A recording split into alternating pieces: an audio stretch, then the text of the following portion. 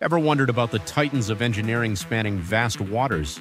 Here are the world's top five longest suspension bridges by main span.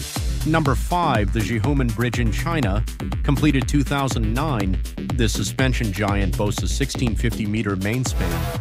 Number 4, China's Nansha Bridge. Opened in 2019, its longest suspension span stretches an incredible 1688 meters. Number 3, also in China, the Yangsigang Yangtze River Bridge, a double-deck suspension bridge finished 2019 spanning 1,700 meters. Number 2, Japan's iconic Akashi Kaikyo Bridge. Holding record since 1998, its massive suspension span is 1991 meters long. And number 1, the Çanakkale, 1915 bridge in Turkey. The current world record holder completed 2022, a breathtaking suspension bridge with a main span of 2023 meters. Absolutely incredible feats of engineering. Which bridge amazes you most?